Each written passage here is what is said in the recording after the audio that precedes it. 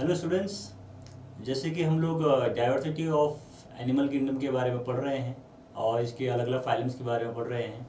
आज हम करने वाले हैं दूसरा फाइलम जिसको कहते हैं पॉरीफेरा और जैसे कि हम घरों में यूज़ करते हैं, आपने देखा होगा स्क्रब यूज़ करते हैं या स्पॉन्ज कह देते हैं हम स्पंज लाइए। तो वो स्पॉन्ज होता क्या है और बेसिकली ये आता कहाँ से है?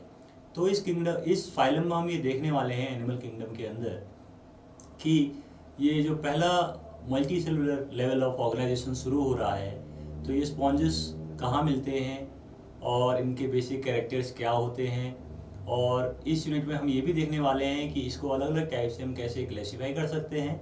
और एक बहुत ही इंपॉर्टेंट चीज़ जो चीज़ जो हम इसमें देखने वाले हैं, वो ये है कि इनका एक कैरेक्टरिस्टिक फीचर होता है कि ये वाटर वेस्कुलर सिस्टम होता है इनके अंदर। तो हम ये देखने वाले हैं कि ये वाटर वेस्कुलर सिस्टम बेसिकली कितने टाइप का होता है या कितने, इस बेसिस पर हम इसको कैसे क्लासीफाई कर सकते हैं और ये कैसे काम करता है।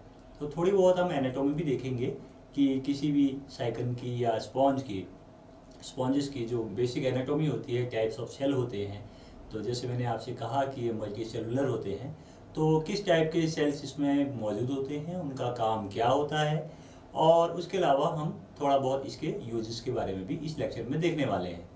तो जैसे हमने पिछले यूनिट्स में हमने शुरू कर रखा था, हमने बेसिक कैरेक्टर्स हम लेते हैं, उसके बाद हम उसका क्लासिफिकेशन लेते हैं और उसके बाद हम शुरू करते हैं कि उसके अलग अलग जो एक स्पेसिफिक कैरेक्टरिस्टिक फीचर है, उस फीचर के बारे में हम जानते हैं। तो इस लेक्चर का भी यही परफॉर्मा रहेगा, यही कंटेंट रहेगा।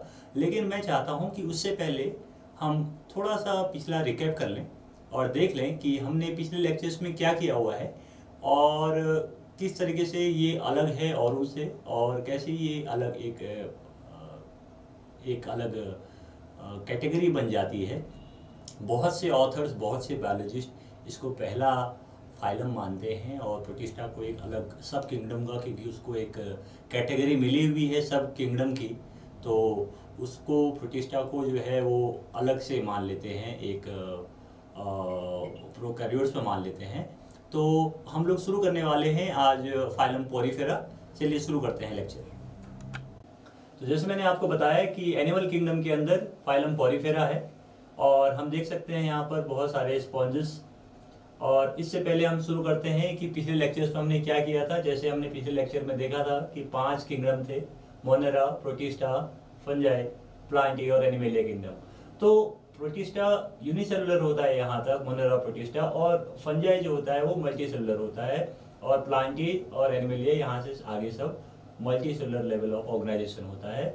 और इसके अलावा इनके डिफरेंट स्पेसिफिक ऑर्गन्स होते हैं, जिनसे कि ये वेल डेवलप्ड ऑर्गन्स होते हैं वेल डेवलप्ड नर्वस सिस्टम होता है एनिमल्स में, और स्पेशलाइज्ड बॉडी ऑर्गन्स होते हैं। तो इस तरीके के हम देखते हैं कि जैसे जैसे हम आगे किंगडम में बढ़ते रहते हैं तो उनका जो मल्टी सेलुलरिटी उनका जो स्पेशलाइजेशन है, वो बढ़ता रहता है। कुछ एग्ज़ाम्पल भी हमने देखे थे। इसके अलावा हमने ये देखा था कि हम कैसे किसी भी एनिमल को हम अलग अलग कैटेगरी में उसको क्लासीफाई करते हैं। स्पीसीज आता है भी जीनस आता है family order class phylum kingdom और इसके अलावा हमने एक ब्रॉड व्यू देखा था कि एनिमल किंगडम को हम कैसे क्लासीफाई कर सकते हैं। तो इसमें हमने देखा था कि पहली जो सब किंगडम और फाइलम थी, वो प्रोटोजोआ थी, जो कि यूनिसेलुलर होते हैं और मल्टी सेलुलर जो लेवल शुरू होता है, जो एनिमल्स होते हैं, उनको हम मेटाजोआ कहते हैं, जो बाद में आए। मेटा मतलब बाद में प्रो मतलब पहले। तो पहले आने वाले एनिमल्स प्रोटोजोन्स हो गए, जिनके बारे में हमने पिछले लेक्चर में देखा था। अब हम शुरू करने वाले हैं अगले वाले सेक्शन को, क्योंकि यहाँ पर आने के बाद मेटाजोआ आने के बाद दो इंफ्रा किंगडम आती हैं एंड्रोजोआ और पैराजोआ पैराजोआ में सबसे पहले आते हैं पोरीफेरा पोरीफेरा के बारे में आज हम देखने वाले हैं, और इन सारे जो बाकी फाइलम हैं, इनको भी हम अगले लेक्चर्स में देखेंगे। तो ये कुछ कल, जैसे मैंने बताया था, पिछले लेक्चर में कि किस तरीके से अलग अलग एवोल्यूशन अलग अलग क्लासेस में अलग अलग फाइलम का हुआ है और कैसे वो निकले हैं सिलोमेट्स के बेस पर फिर वो अलग अलग हुए ए सिलोमेट हैं सीडो सिलोमेट हैं। और उनकी लेटरल सिमेट्री कैसी है? बायोलेटरल है रेडियल सिमेट्री है तो उसके बेस पर भी उनका क्लासिफिकेशन होता है। तो इस तरह की चीज़ें हमने पिछले लेक्चर में देखी थी। इसके अलावा हमने प्रोटोजोन के बारे में अलग अलग क्लासिफिकेशन देखा था और हमने देखा था कि ये चार क्लासेस में डिवाइड होते हैं राइजोबोड़ा मैस्टिकोफोरा स्पोरोजोआ और सीलिएटा इसके कुछ एग्जाम्पल्स भी हम लोगों ने देखे थे अलग अलग अब हम शुरू करते हैं आज का, आज की क्लास जिसका नाम है पोरीफेरा फाइलम पोरीफेरा शुरू करते हैं। और सबसे पहले शुरू करते हैं इसके जनरल कैरेक्टर्स के बारे में। इस फाइलम की ये स्पेशलाइजेशन है कि ये सारे के सारे एक्वाटिक होते हैं, यानी कि ये पानी में ही पाए जाते हैं और ज़्यादातर ये मैरीन होते हैं। सिर्फ़ एक ही फैमिली होती है स्पॉन्जिलिटी जो कि फ्रेश वाटर में पाई जाती है, अन्यथा ये सारे के सारे मराइन होते हैं, यानी कि खारे पानी में पाए जाते हैं। और ये ससाइल और सेकेंडरी होते हैं। ससाइल होते हैं मतलब कि ये मूवमेंट नहीं करते हैं, ये एक ही जगह पर रहते हैं और प्लांट्स की तरह ग्रो करते हैं। और इनका बॉडी का जो शेप होता है वो वेस यानी कि गुलदस्ते जैसा शेप होता है इनका, और सिलेंड्रिकल जैसा शेप हो सकता है। और जो सिमेट्री होती है वो या तो ये एसिमेट्रिकल होते हैं या फिर रेडियली सिमेट्रिकल होते हैं। बॉडी सरफेस में इनके बहुत सारे पोर्स होते हैं। इसलिए इनको क्या कहते हैं? इनको पोरीफेरा कहते हैं। पोर्स होते हैं इनकी बॉडी में बहुत सारे, जिनको कि हम ऑस्टिया कहते हैं।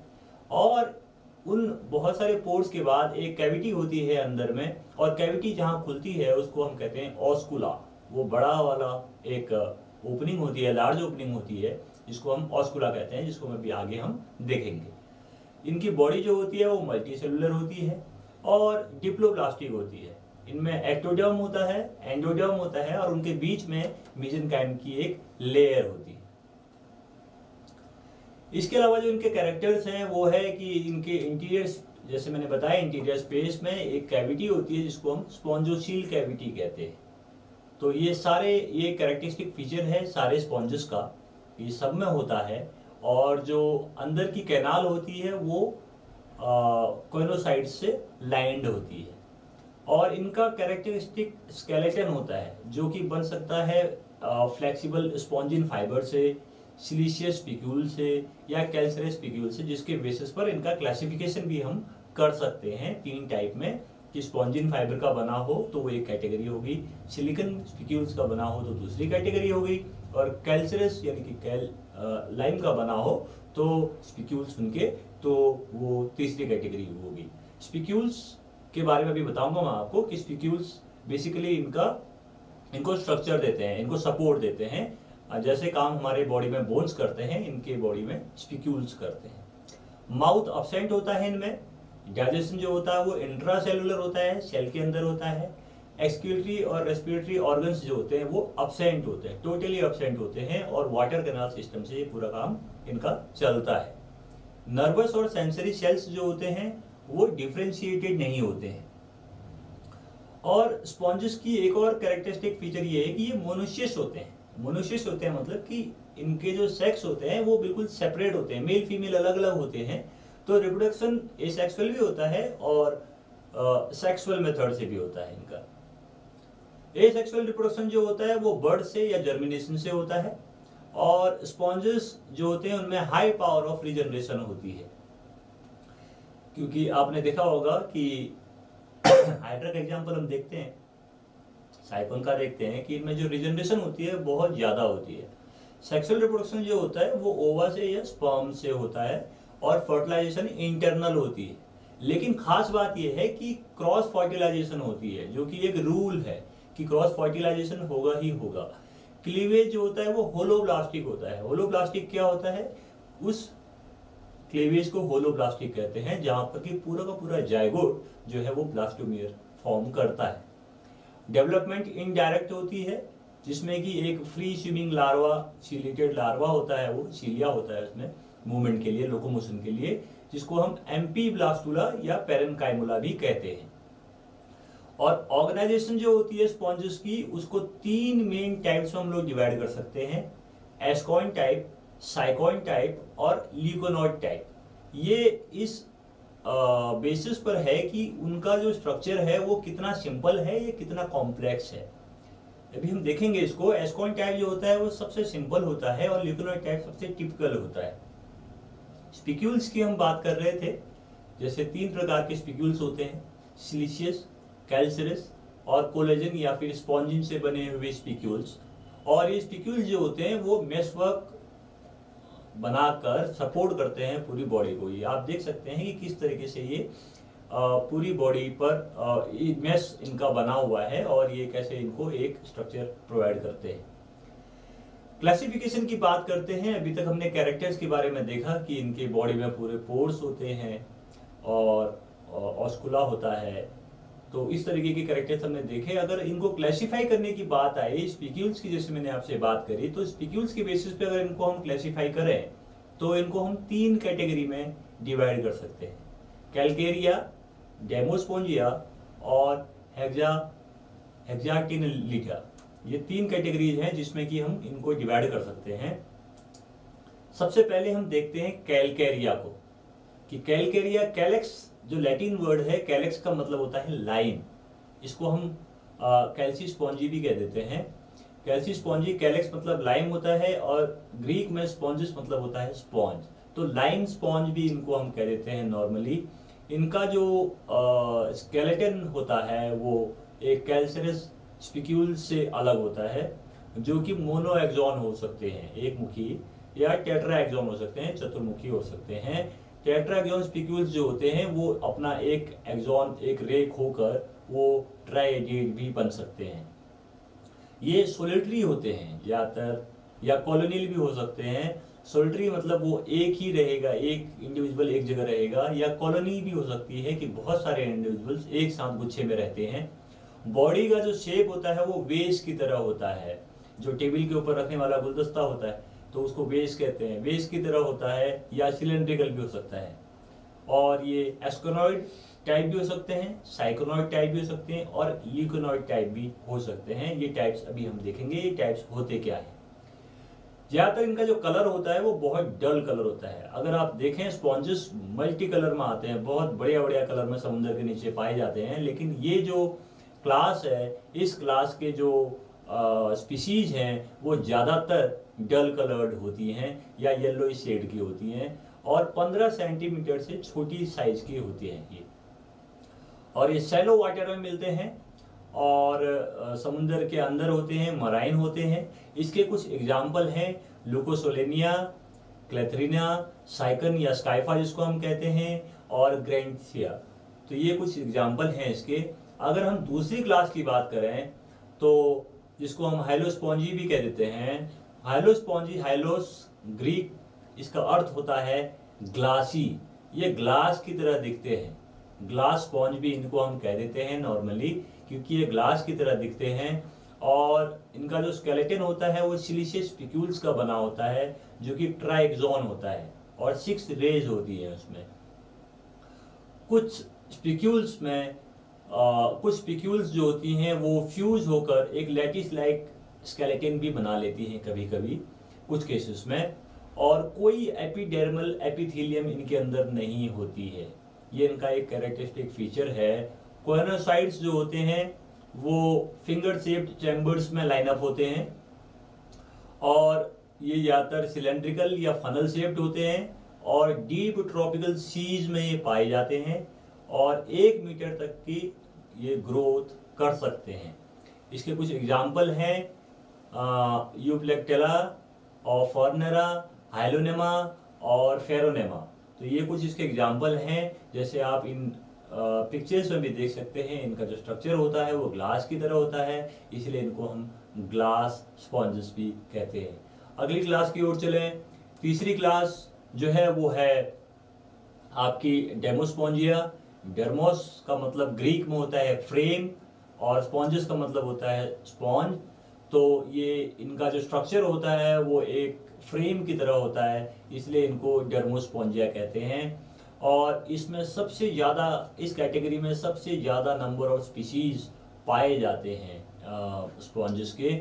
और ये लार्ज साइज़ होते हैं सोलिटरी भी हो सकते हैं और कॉलोनियल भी हो सकते हैं. एक साथ भी हो सकती हैं और इंडिविजुअल अलग अलग भी ये रह सकते हैं।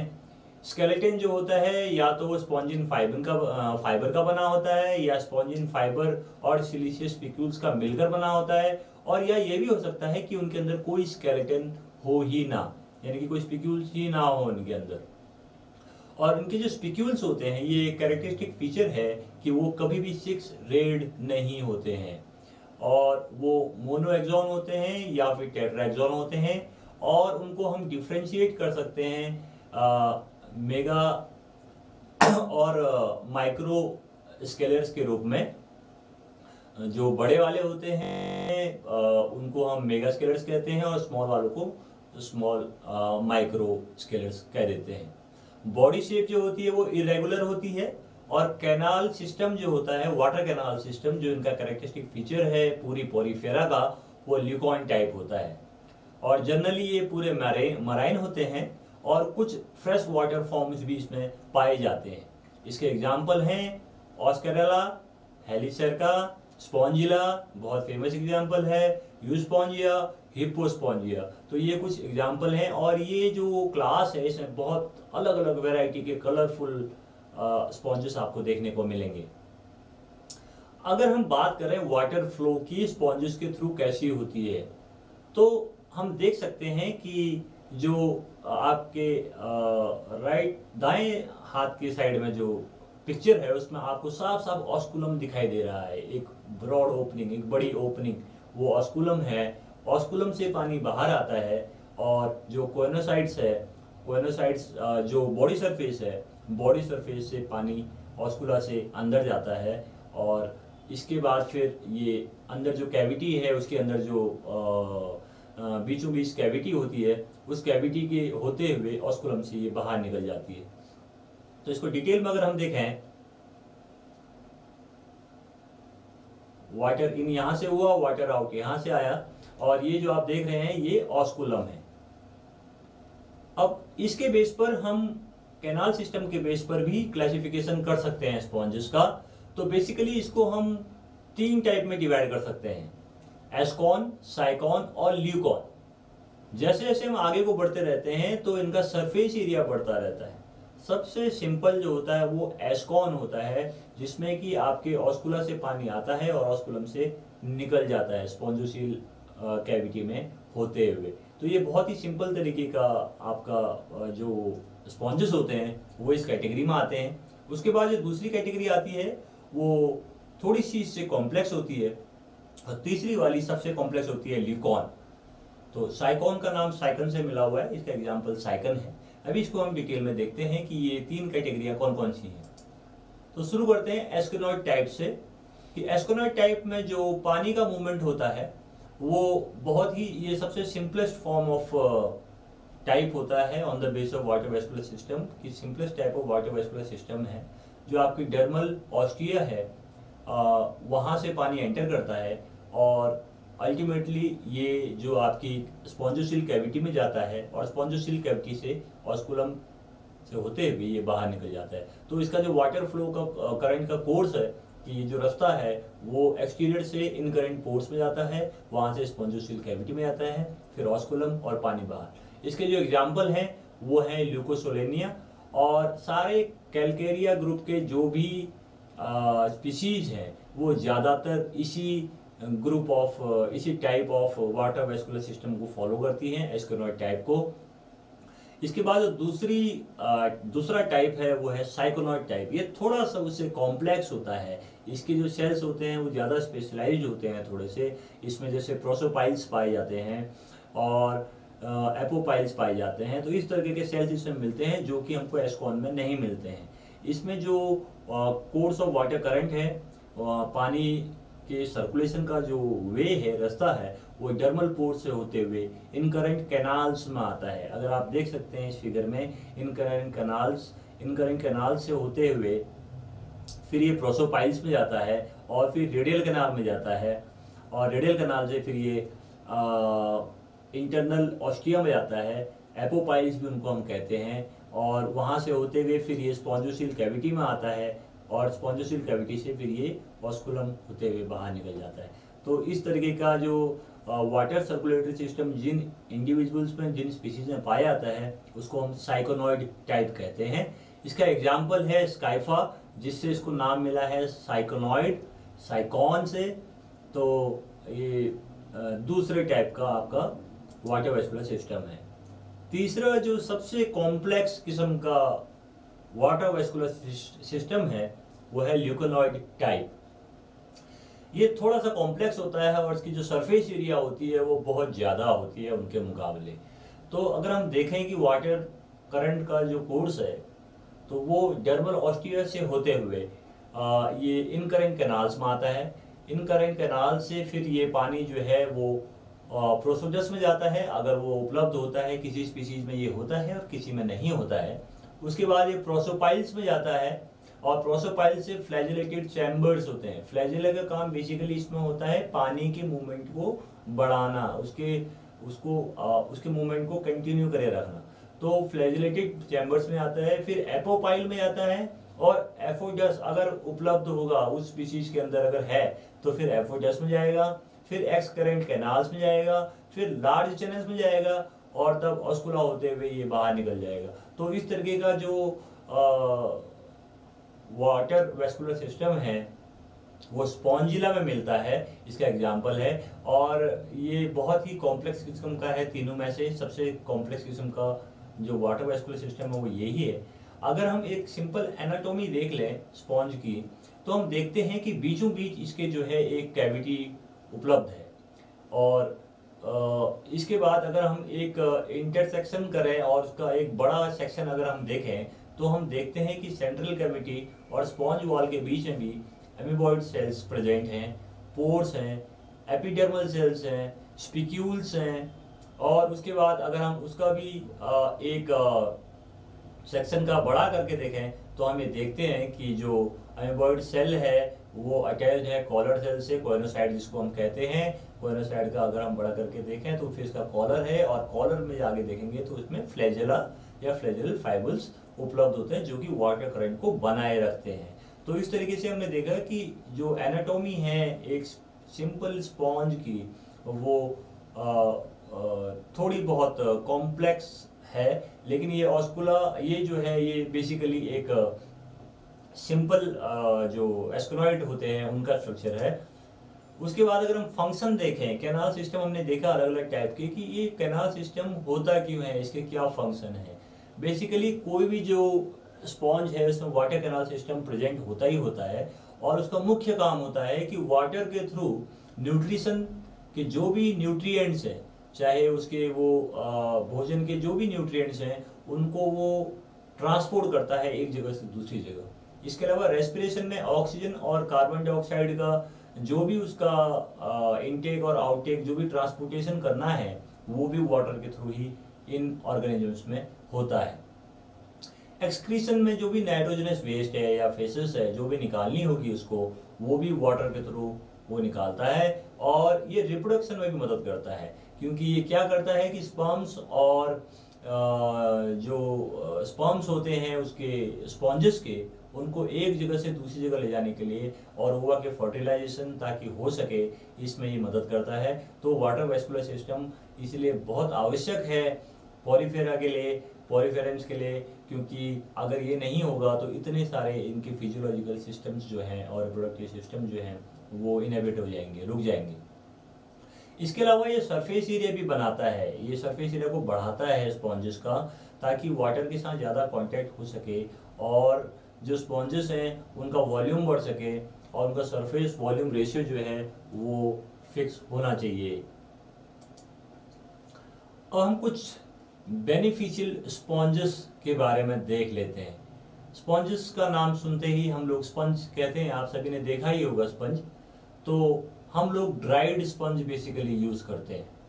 और जो ड्राइड स्पंज होता है, वो फाइब्रस स्केलेटन होता है बहुत सारे स्पॉन्जेस के। जैसे स्पॉन्जिया हो गया हिप्पो स्पॉन्जिया हो गया यू स्पॉन्जिया हो गया। बेसिकली ये तीन जो स्पीसीज जीनस हैं, इनके हम यूज़ करते हैं। स्पंजेस को और इसको हम यूज़ करते हैं बाथिंग में पॉलिशिंग में वॉशिंग में चाहे वो कार की वॉशिंग हो या घर की वॉशिंग हो या दीवार की वॉशिंग हो या फर्नीचर की हो और स्क्रबिंग फ्लोर्स में और बाथरूम में जो आप स्क्रब यूज़ करते हैं वो भी स्क्रबिंग के लिए जो साफ़ करने के लिए यूज़ करते हैं वो भी स्पॉन्ज का बना होता है। ये हार्ड फॉर्म में भी हो सकता है और सॉफ्ट फॉर्म में भी हो सकता है, ये नोट करने वाली बात है। और कुछ स्केलेटन जो आ, कुछ स्पॉन्जेस के जो स्केलेटन्स होते हैं जैसे कि आ, हम बात कर लें यू प्लेक्टेला की आ, वो बहुत कमर्शियल यूज़ के होते हैं और उनको हम डेकोरेटिव पीसेस के रूप में भी यूज़ करते हैं। बरमुडा में इनका अगर देखें तो बरमुडा जो कंट्री है वहाँ पर इनका ओवर एक्सप्लोटेशन हो रहा है और बहुत ज़्यादा मात्रा में ये स्पॉन्जेस को निकाला जाता है। तो स्टूडेंट जिस तरीके से आपने देखा कि आज हमने पॉरीफेरा करा और पॉरीफेरा में हमने उनके जनरल कैरेक्टर्स के बारे में देखा और उनके क्लासिफिकेशन के टाइप के बारे में देखा। तो क्लासिफिकेशन बेसिकली हम लोग दो तरीके से कर रहे हैं इसका। एक कर रहे हैं स्पीक्यूल्स के बेसिस पर और दूसरा हम कर रहे हैं कि उस पर वाटर कैनाल सिस्टम कैसे होता है। इसमें, इस यूनिट में जो वाटर कैनाल सिस्टम होता है, वो बहुत इंपॉर्टेंट चीज़ है और वाटर कैनाल सिस्टम के बारे में आपको जानकारी होनी चाहिए क्योंकि ये एक इसका करेक्टरिस्टिक फीचर है। और वाटर कैनाल सिस्टम जैसे मैंने आपको बताया कि बेसिकली इसको हम तीन टाइप में डिवाइड कर सकते हैं एसकॉन साइकॉन और ल्यूकॉन और जो ल्यूकॉन टाइप है, अगर इसके डिटेल्ड अगर आप स्टडी करें तो हम देखते हैं कि इसके अंदर बहुत से टाइप के सेल्स और अंदर मौजूद होते हैं कोइनोसाइड्स होते हैं और डर्मल पोर्स होते हैं। ऑस्कुलम होता है जहाँ से कि पानी बाहर निकलता है और कोइनोसाइड्स होते हैं। तो इस तरीके के हम देखते हैं कि इसके अंदर अलग अलग टाइप के सेल्स होते हैं, जिनका कि एक इंडिविजुअल अपना अपना काम होता है। तो वाटर वेस्कुलर सिस्टम जो होता है, वो पॉलीफेरा के लिए बहुत इंपॉर्टेंट होता है, क्योंकि अगर वाटर वेस्कुलर सिस्टम नहीं होगा तो पॉलीफेरेंस में डाइजेशन के जो न्यूट्रिएंट्स हैं, उनका ट्रांसपोर्टेशन नहीं हो पाएगा। जो एक्सक्रीशन निकलना है, वो नहीं निकल पाएगा। और जो रिप्रोडक्शन में जो स्पर्म का मूवमेंट होना है, वो नहीं हो पाएगा। तो इस तरीके से हम देखते हैं कि पॉलीफेरा पूरी तरीके से, क्योंकि ये मराइन है, प्योरली एक्वेटिक है और मोस्टली मराइन है, और ये पूरी तरीके से पानी पर निर्भर है अपने न्यूट्रिशन के लिए, अपने रिप्रोडक्शन के लिए और अपने जितने भी फिजियोलॉजिकल उसके काम होते हैं चाहे उसके न्यूट्रिएंट्स का सर्कुलेट करना हो ट्रांसपोर्ट करना हो या उसका रेस्पिरेटरी सिस्टम हो ऑक्सीजन ले जाना हो कार्बन डाइऑक्साइड निकालना हो बाहर तो ये जो भी चीज़ें हैं ये सारी ऑस्कुला और ऑस्कुलम के बीच में ही ये आ, होता है पानी इन होता है ऑस्कुला से और जर्मल पोर्ट से और उसके बाद आउट होता है ऑस्कुलम से। इन्हीं इसी दौरान जो होता है ये पूरे का पूरी साइकिल चलती है। तो इसलिए वाटर अगर ना हो तो पॉरीफेरा का ज़िंदा रहना बहुत मुश्किल है और इसीलिए वाटर वेस्कुलर सिस्टम जो होता है, वो पॉरीफेरेंस में बहुत इंपॉर्टेंट होता है। और हमें ये पता होना चाहिए कि ये कितने टाइप का होता है और किस बेसिस पर इसको हमने क्लासीफाई किया है और ये किस इनका जो इन करंट का जो वाटर का जो पाथ होता है, किसी भी टाइप में कि जब ये वाटर फ्लो करता है तो ये किस वे को ये एडप्ट करता है, कौन से रास्ते ये जाता है कौन कौन सी जगहों पर ये पानी होता हुआ बाहर को निकलता है और मेन इनके फ़ंक्शंस क्या हैं? और इसमें जो क्लासिफिकेशन है, वो ज़्यादा टिपिकल नहीं है, क्योंकि क्लासिफिकेशन बेसिकली दो टाइप से कर रहे हैं, या तो स्पीक्यूल्स के बेसिस पे कर रहे हैं, या फिर वाटर कैनल सिस्टम के बेसिस पे कर रहे हैं। कैल्सीफेरस हो सकता है, स्पॉन्जिन फाइबर का हो सकता है या तो लाइम का बना हो सकता है। तो इस तरीके से हम उसको दो ही तरीके से क्लासीफाई कर रहे हैं, या तो टाइप ऑफ़ स्पीक्यूल्स के बेसिस पर, या type of water canal system के बेसिस पर। तो पॉरीफेरा एक बहुत इंपॉर्टेंट और शुरुआती एक फाइलम है। इसके आगे फिर multi cellular level of organisation शुरू होती हैं, और ये एक अकेला ऐसा मेंबर है अपनी किंगडम में, जो कि पूरा पोरस होता है, पूरे जिसके नाम पर इसका नाम पोरीफेरा पड़ गया है, क्योंकि ये पोरस होता है, पूरी बॉडी में इसके छेद होते हैं, छिद्र होते हैं, इस वजह से इसको हम पोरीफेरा कहते हैं।